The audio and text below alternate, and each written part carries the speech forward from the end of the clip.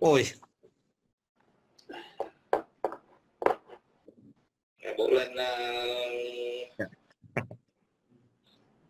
ui Trời anh đẹp trai. Chào bố. Bữa đó lạnh hả bố? Nghe rõ không? Rõ rõ rõ. Ờ, ờ, đầu tiên thì chào con với chào tất cả mọi người ở dưới diễn đàn. Le que cái mấy nhà mạng thôi nhưng mà kệ. Nhưng mà bên này bên này à, đang chờ đón bão đang nó đang à, quảng ở, ở vùng ngũ đại hồ trung tây miền trung tây hoa kỳ đang bị uh, một trận uh, gió lốc với lại uh, cuồng phong với lại bão. Thì uh, ở bên đây trời cũng khá là lạnh ở ngoài thì gió mù mịt tuyết nó cũng rơi. Nói chung là cũng thời tiết cũng không được tốt lắm. À, thì à, con nói bên này chủ đề gì vậy à, thì à, vừa rồi à, hai ngày qua thì à, chúng ta đã đưa ra xét xử ba à, bốn đối tượng. Đó là, là hoạt động à, chống phá đất nước à, mình bố, bố, bố cầm. Còn Đoan Trang nè Phạm Bá Phương nè à, Nga gì à, gì đối tượng gì nữa quên rồi. Với lại một thằng Đỗ Nam Trung ở Nam Định đó là 5 năm nè đứa 5 năm đứa 9 năm hai đứa kia thì 10 năm hai à, nam giới 10 năm. Đó thì à, là một cái người à, dân thì con thấy là những cái việc này là một cái việc đáng phấn khởi. Và mình con lên đây con chia sẻ.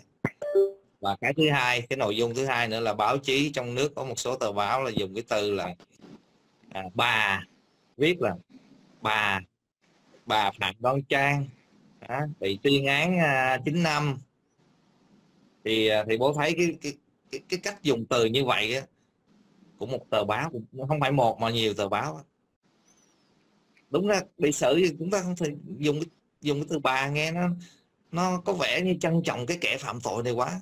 Bố cảm thấy không? À thì uh, đúng ra cái, cái chuyện này thì uh, bố là lớn tuổi mà gia đình bố cũng ngày xưa cũng là làm báo cho nên là hơi hơi hướng hơi hướng có cái mùi thì uh, bố cũng đã từng nói rồi. Mà bố dạ. nói ra thì có nhiều người có nhiều đứa nó không nó không kịp hiểu được cái lời của bố nó cái quy chụp và nó chửi bố nhưng mà thôi kệ lỡ chửi cho chửi luôn. Thì à, từ xưa giờ nó lại vậy. Thì mình có một cái vấn đề thầy có nghĩa là ở, ở trong cái thành phần mà báo chí Việt Nam mình nó có những thành phần bất mãn bất mãn với cái xã hội chưa chắc gì định không phải là nó bất mãn với chế độ nhưng mà nó bất mãn với xã hội.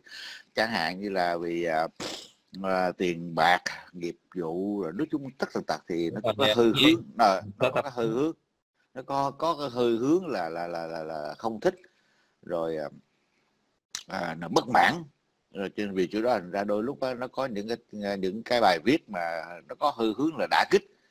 Thì ta nói mà rồi thường thường ở cái xã hội tư bản nó có những cái tờ báo gọi là đối lập đối lập là gì? Đối lập tất nhiên là đối lập chứ không phải là đối đầu có nghĩa là đối lập là một cái đường lối tốt để cho chỉnh quấn lại những cái gì mà cảm thấy là mà cái chính quyền làm sai hoặc là làm chưa tới hay làm chưa đúng nó gọi là đối lập. Để mà người đó là tiếng nói của người dân. Nhưng ngược lại những cái tờ báo này nó ma mảnh và sửa từ hoặc là dùng những cái từ nó, nó, nó, nó, nó có tính cách là chống đối chứ nó không phải là là, là đối lập nữa. Cho nên vì đó là mình thấy rõ ràng chứ không phải mới đây.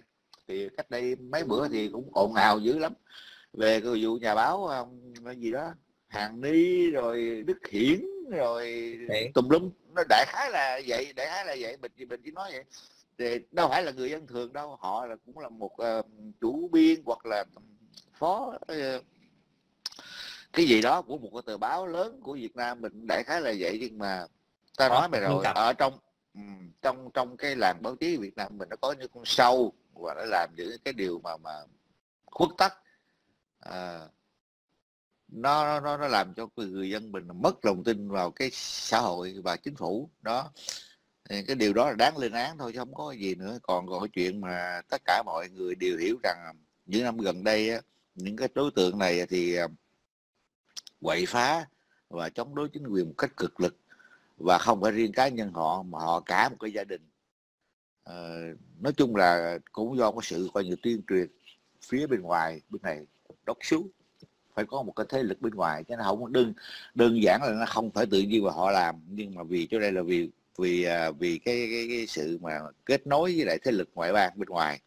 Thành ra họ ra sức họ chống đối Việt Nam mình bằng những hình thức rất là cụ thể. Chẳng như là ta coi rồi ví dụ như vô tòa án không phải phải xử tụi đó mà ngày xưa hết bất cứ có cái chuyện gì ở tòa án xử bất cứ ai hay là cái gì đó là nó kéo nó kéo tới làm đủ trò hết trơn trời và đưa biểu ngữ viết nói chung là tất tần tật.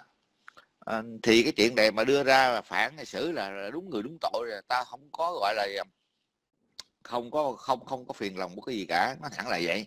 Có nghĩa là đúng người đúng tội và những cái tờ báo này à, là những cái tờ báo bẩn. Mình nói chữ tờ báo bẩn thì cũng không đúng, nhưng mà phóng viên bẩn thì đúng hơn. Bởi tờ báo, nhiều khi cái chủ trương tờ báo thì không làm vậy, nhưng mà đôi lúc những cái anh chàng ở dưới này anh anh à, bất mãn. Nhiều khi anh bất mãn trong nội bộ của anh cũng vậy nữa. Thí dụ như thằng kia nó lên chức là tại sao ta không lên là đủ? Tự nhiên là ta tức.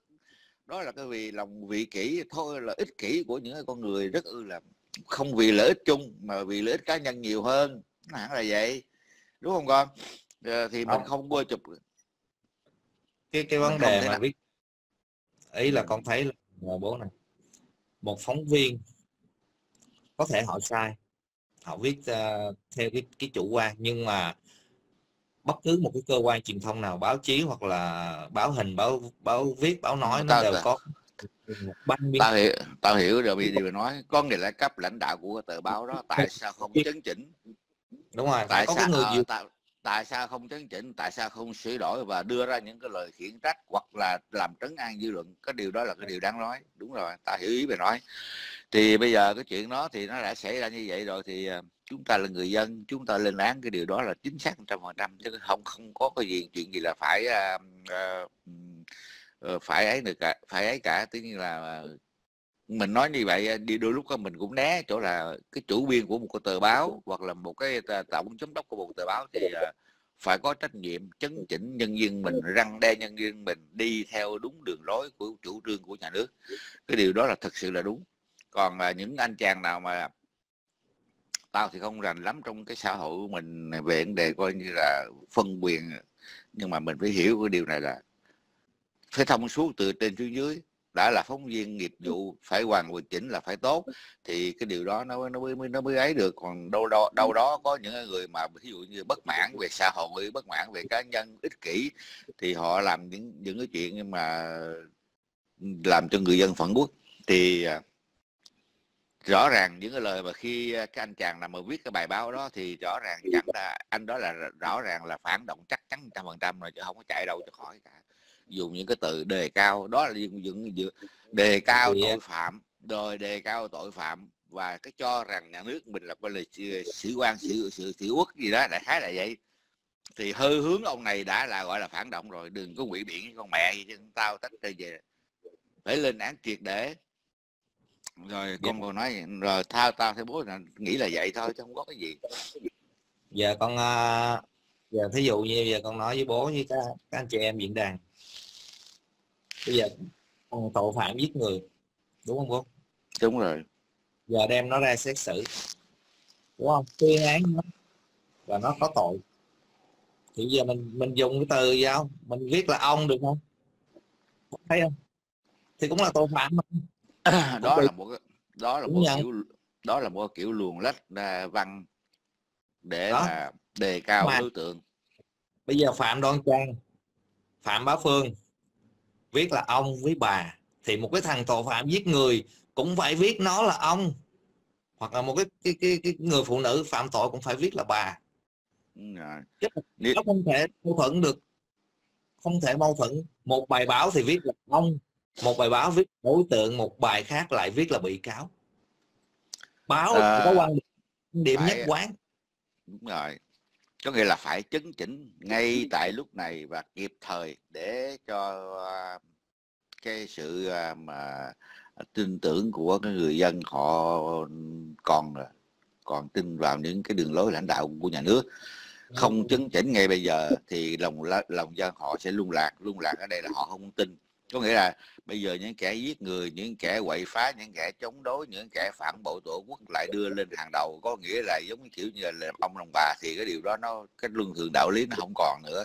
Và cái tiếng nói của báo chí nó lại qua ta, tao nói mày rồi tao mơ hồ tao đã từng lên like của thằng Hoa Quang tao, thằng Thơ Quang tao đã nói rồi. Tao mơ hồ ở đây nó có nó có một cái chuyện là tổng công kích tổng công kích trên các mặt trận. Tao nói mày rồi tao nói vậy không biết mày có hiểu hay không nhưng trong đó nó có về văn hóa nè vấn đề nghệ thuật nè vấn đề game show nè vấn đề từ thiện nè vấn đề giả sư nè. Hầu như tất cả đều cùng tổng tổng tấn công một một một lúc. Và họ luồn lách vào những kẻ hở của pháp lý mình có nghĩa là đừng có có là họ làm nhưng mà mình không bắt lỗi được ví dụ là vậy để gì để làm xáo trộn đạo đức xã hội và để để rồi bắt đầu bắt đầu nó đổ thừa nó đổ thừa đó là xã hội Việt Nam mà kia đã làm xáo trộn mặc dù nó không có lật đổ nhưng mà chính làm những cái điều đó thì rất là nguy hiểm. Và trong khi đó mày thấy ta thấy mơ hồ là hầu như nó cấu kết với là một cái thằng thế lực phản động ở nước ngoài rất là nhiều. Bằng chứng là con thấy rồi đó là hầu như là ai cũng thấy rồi. Nó có những cái sự mà móc nối trong lĩnh vực nghệ thuật cũng vậy nữa về vấn đề à, à nói chung là tất tần tật đều có bàn tay của nước ngoài vào hết không có không không, không phải tự nhiên mà nó có.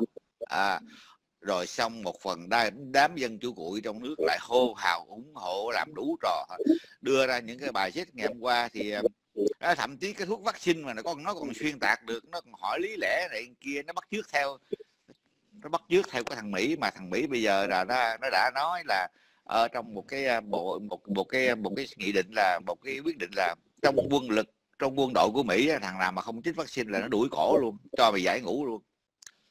Ở đây ở đây bố có nói một cái điều gì có nghĩa là ở đây là những cái trách nhiệm mà thường thường bố cũng nói với thơ quan rồi. Có nghĩa là ở đây không ai bắt buộc ai cả nhưng mà tự nhiên mình cảm thấy mình đất nước mình là đang yên bình mình đang thương đang thương nước mình nhưng mà có những thành phần như vậy. Thì ở đây là một cái trách nhiệm vô hình thích thì làm không thích thôi nhưng mà bố nói là hình hình như là bố có một cái trách nhiệm là phải nói lên cái tiếng nói để cho người trong nước hiểu được. Đó để hiểu được chứ đừng đừng có đừng có kiểu giống như kiểu đây là cái trách nhiệm này là của không không ai bắt buộc mình cả không ai ép mình phải làm này không ai ép mình kia. Nhưng mà cảm thấy ghét là ở chỗ là mà tụi bay nó láo nó xạo nhiều quá à, thậm chí bây giờ ta cũng thấy có một vài người ở ở ở và ngày xưa mà cũng nghe tin tụi nó chẳng hạn như là chẳng hạn như là những người mà chống cực cực đoan ngày xưa đó mặc dù họ không biết gì cả nhưng mà nghe lời tụi đó. À, rồi xong bây giờ họ bắt đầu họ hiểu ra thì họ bắt đầu họ chửi tụi nó chẳng hạn như là tao biết là có thằng lên là lâm văn hà lâm văn hà ngày xưa là chống cộng cực đoan á có nghĩa là chửi tao nó kể cả tao lâu nó lâu tao ra tên tao nó đào mã chửi tụi là mà bây giờ à, ảnh lại ngược lại ảnh là hiểu ra bản chất vấn đề và ảnh ảnh chửi là tụi kia. Đó thì à, cũng một vài người nữa chứ không phải là không. Thì tao đơn cử một ví dụ nho nhỏ như vậy để hiểu. Cũng nhờ những cái tiếng nói của mình có nghĩa là những người dân à, trong nước rồi tao này cũng một vài người ờ, bạn bè để để nói lên cái tiếng nói của người uh, của, của của Việt Nam mình để cho người này người ta hiểu. Bởi vì thường thường mày khổ cái là người ở nước ngoài là không hiểu người trong nước mà người trong nước là hay vọng ngoại lại càng lại càng không hiểu ở ở ở, ở nước ngoài. Vì cái chỗ đó không hiểu thì nó cứ tưởng tượng mà tưởng tượng ngộ lắm. Người trong nước là tưởng tượng là nước Mỹ là đủ sứ thiên đường không làm cũng có ăn ra làm cửa đó ví dụ là vậy còn người ở trong nước thì rượu nghĩ rượu ở trong nước rượu mà bây giờ đang xin đầy đường, rượu má đói ra, đói đói, rã rượu không có ăn. Nó ngộ, có nghĩa là họ không hiểu được nhau. Và cái ngộ, cái tin tưởng qua cái mạng xã hội này. Cái thằng này nó nói là mà đủ người trong nước tin trăm rách, còn cái thằng ở trong nước nó thì ở ngoài kia tin trăm rách. Thì vì cái chỗ đó, chúng ta là một cái trung gian.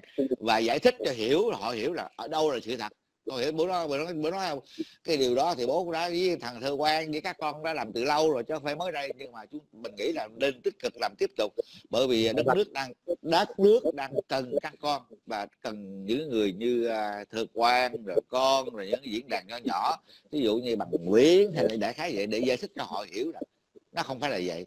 Chứ bây giờ nó vẫn tưởng tượng là đồ Việt Nam mình ăn xin đầy đường.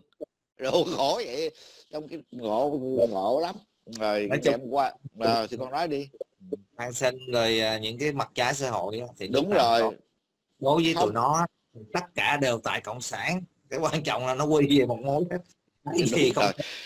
đúng rồi. Ta hôm có rất là nhiều là rất là nhiều lần muốn làm like hoặc là lên làm nói là không có đất nước mà là không có tệ nạn cả. Đất nước anh càng giàu anh càng rộng thì tệ nạn càng cao. Đồ mà ta nói dẫn chứng rồi mà tệ nạn còn cũng khủng khiếp luôn mà khổ vậy nhưng mà có điều đó anh chàng này thì anh giấu anh giấu mặt luôn mấy cái điều đó. Anh chỉ đưa cái lại những cái mặt mà sáng chói thôi. Ví dụ nhà lầu xe hơi thôi. Còn mấy cái chuyện kia là anh giấu gì cất gì anh giấu rồi gì như vậy đó. thì ngược lại tao có bụng phận là tao phải moi ra. Mày hiểu không? Bỏ ra. Nó cũng đâu có đâu khác gì nó thậm chí còn tệ hơn nữa. Đó. Khổ vậy ừ. thì ra nói gì thì nói ra nữa thì à, những người là thay quay lại chủ đề cũ là những người người mà ở như Việt Nam mình là kết án thì thấy là đúng người đúng tội. Ê, tao nói cho mày nghe này cái tao sao tao biết á, thì con đơn trang này nó không phải là một lần và nó kéo dài một thời gian rất là dài hơn cả chục năm. Lâu rồi ờ à, chứ nào phải bà bây giờ mới xử thì rõ ràng đúng là mình là thuộc làm loại dạng là mình không hiểu là nhà nước mình sao cho mình, bố thấy là chậm quá ờ, chứ đúng ra là ngày tao tánh tao giống trương phi vậy tao nóng lắm. Đủ ngày trước ngày sau là tao bập rồi chứ không có kiểu như vậy đâu.